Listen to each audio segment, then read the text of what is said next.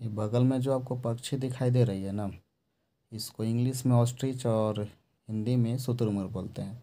और इसके बारे में आपको एक कमाल की बात बताता हूँ भाई साहब। मतलब बहुत कमाल की। इसका जो आँख होता है ना भाई, गज़ब होता है। गज़ब मतलब?